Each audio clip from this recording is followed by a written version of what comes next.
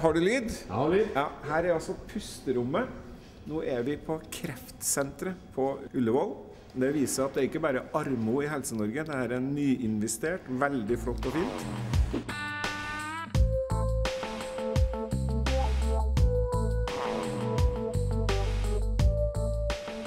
Så når du tenker på at vi har styrt, i, styrt Norge i tre år, så, så mener jeg at det, det, det viktigste overordna er at vi har gjort det vi sa vi skulle gjøre. At vi har vært fellesskapsløsningene fremfor skattelette. At vi har brukt de store pengene på de store oppgavene.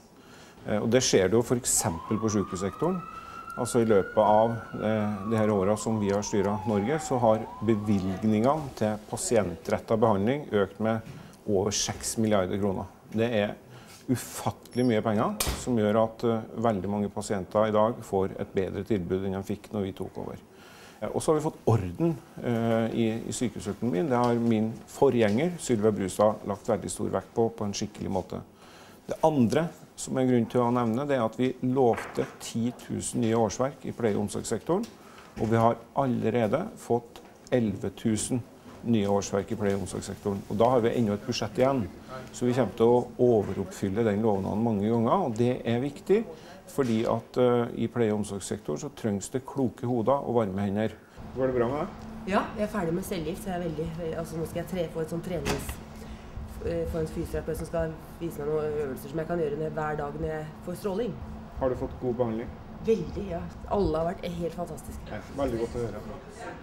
Det er jo sånn Eh, Så jeg legger veldig stor vekt på at vi nå har fått et veldig godt sykehusbudsjett. Altså det er tidenes beste sykehusbudsjett som vi nå har presentert i statsbudsjettet. Vi får en kjempesatsing på rusomsorgen, eh, som er liksom den delen av helsevesenet der vi har lyktes aller dårligst. Og vi får en videre vekst i antall ansatte i pleie- og omsorgssektoren i Norge. Men samtidig vil det som preger min hverdag aller mest, være at jeg i april i 2009 skal legge frem eh, forslag til den nye store helsereformen, altså Samhandlingsreformen.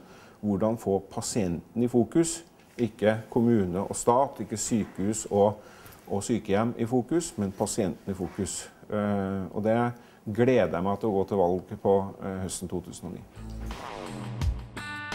Norge trenger en rød-grønn regjering fordi at det å, det å bygge Velferds-Norge, det å ta vare på fellesskapsløsningene, det å ta vare på eh, at vi egentlig eh, alltid gjør ting klokest hvis vi gjør det i lag, det er aldri et prosjekt som er avslutta etter noen, noen år.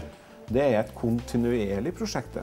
Og det handler om både å være kritisk til det samfunnet vi bor i, eh, fordi at det vil aldri bli perfekt, og ha det som utgangspunkt for å gjøre det bedre, men som grunnplanke i alt det arbeidet har fellesskapsløsningene som liksom den modellen vi bygger eh, Fremtids-Norge på.